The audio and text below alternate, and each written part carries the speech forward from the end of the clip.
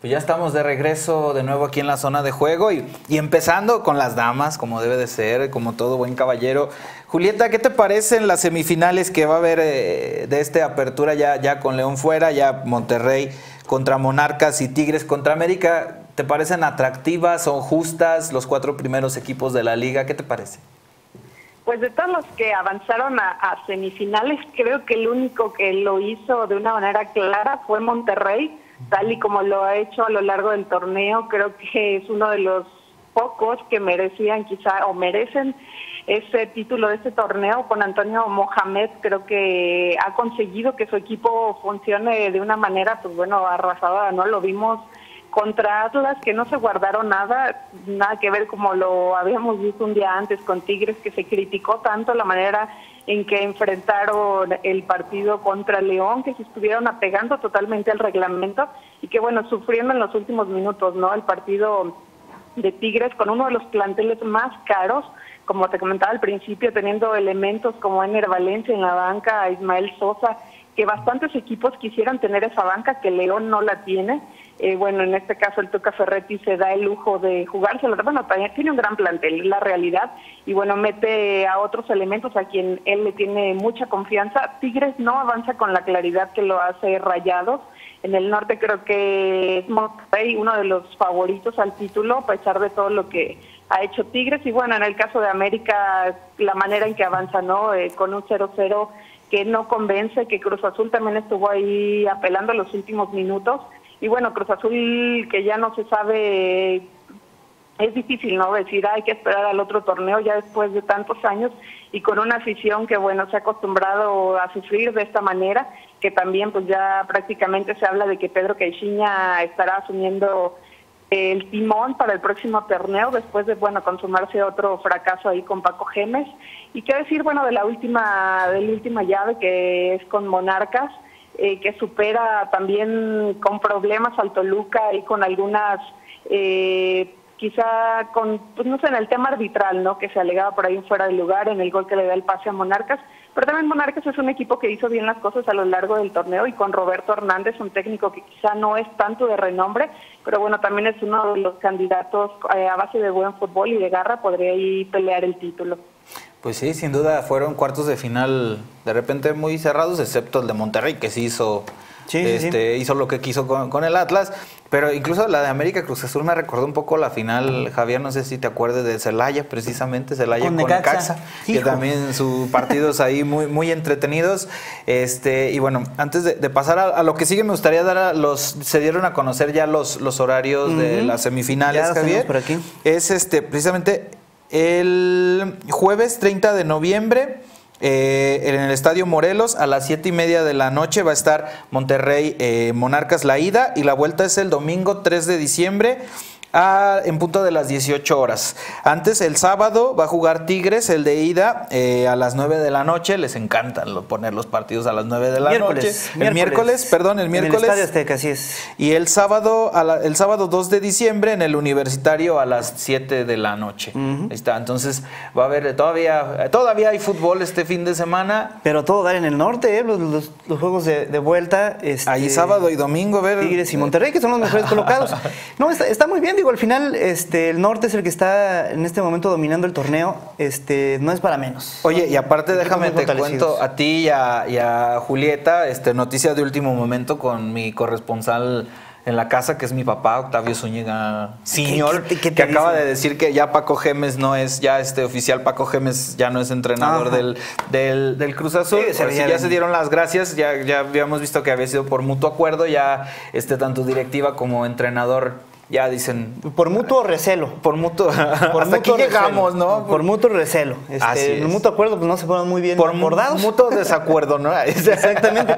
No, un Paco Gemes que la verdad nunca se halló en la Liga Mexicana. Y yo creo que no es para menos. La Liga Mexicana es complicadísima. Este, y eso se, se, cruza con la presión que tenía de la propia directiva, con la presión que tenía de los periodistas, con la presión que tenía de los aficionados. Eh, la verdad es que le, le, le costó mucho trabajo adaptarse y ya adaptado juega de esta manera contra América y creo que es la parte que, más este ruido le hizo. ¿no? Aparte ya ser entrenador del Cruz Azul ya de ser como medio depresivo, porque nadie lo ha logrado. O sea, muchos han estado muy cerca y, hay que entender que esa parte, esa presión ya es, ya es una característica que debe tener. Caiciña no sé qué tan pues buena opción pueda ser. Caiciña la ventaja que tiene es que ya conoce el fútbol mexicano y ya estuvo en instancias finales con Santos, entonces de alguna manera... de Santos a Cruz Azul. No se me hace tan descabellada la apuesta por Caiciña. Se me hizo descabellada en su momento Paco Gemes porque no conocía el medio este, sí tenía muy buenos, este, muy buenos números con, el, en el fútbol español, muy buenos antecedentes. Creo que es alguien que sabe, que tiene oficio. Este, es un tipo muy profesional, muy serio, pero su carácter y su desconocimiento creo que no le ayudaron mucho. Okay. Bueno, conocimiento de la Liga Pues vamos a ver cómo, si es que llega él, porque todavía no es oficial, pero se menciona prácticamente seguro que, que vaya a ser él. Por lo pronto, este, queremos agradecer, Julieta, muchísimas gracias por haber estado hoy con nosotros vía telefónica. Sabemos que tienes muchos compromisos en este momento. No te eh, entretenemos familiares, no te entretenemos más. Muchísimas gracias, compañeros. Pues bueno, ya saben, un gusto acompañarlos aquí en la zona de juego y bueno, esperemos ahí poder seguir hablando, a ver hagan sus apuestas, quiénes son los favoritos para la final de este torneo. Monterrey. Monterrey, ya queda, o sea, Monterrey. A ver quién apuesta. Aquí ve que, que, salga el valiente que me apueste a ver un americanista. Yo les apuesto. La final tiene que ser, en justicia al deporte tiene que ser Tigres Monterrey. Así es, así tendría que ser. Julieta, pues muchísimas gracias. Gracias, gracias. Les mando un abrazo. Hasta luego. Hasta luego. Un abrazo, Julieta. Así es, y pues mira, precisamente yo creo que sí, por honor al deporte, tendría que ser Tigres contra Monterrey esa final. Y también por honor al deporte y al fútbol, este, un, tema que se nos me estaba pasando mencionar también y que es importante en la mesa, el, eh, eh, Chivas, que se coronó campeón del fútbol femenil oh, hace unos días con, Pachuca. Sin duda, una final de las mujeres, este, fue una final muy, muy, eh, muy emotiva tanto la ida que Pachuca gana 2-0 como la vuelta que Chivas gana 3-0 y, sin duda dejan, dejan la muestra de que el fútbol femenil tiene mucho para crecer, ¿no? Sí, por supuesto. Mira, yo creo que una gran ventaja es que se le dio mucha seriedad por los equipos y por la liga. Creo que fue un proyecto que sí se apuntaló de esa manera. Todavía no podríamos decir que es 100% profesional, creo que todavía haría falta reforzarlas, no solamente en, los traslados, en el uniforme, hay muchos equipos que todavía no manejan una nómina. ¿no? Y creo que es un aliciente importante para que, las, para que estas chicas, estas mujeres que están en este momento ya incursionando en el, en el fútbol mexicano, en el máximo nivel, digamos, este, ya puedan dejar otras ocupaciones extraordinarias y concentrarse al 100% en esta profesión porque finalmente para, para allá vamos. Y yo creo que lo, el que gana al final de cuentas con la realización de este torneo es la selección femenil. Una selección femenil que había dado muy buenos resultados con, siendo amateur, ¿no? Algunas de ellas semiprofesionales, algunas de ellas. sobre todo con. En algunas ligas. Este, con chicas que juegan en Estados Unidos, en, las universidades, sí se alimentaba mucho de eso. Creo que es el gran ganador. Yo ya quisiera ver una selección producto de esta liga femenil ¿no? Quisiera verlo porque creo que le va a venir muy bien para una, una fortaleza competitiva que pueda tener el fútbol femenil mexicano.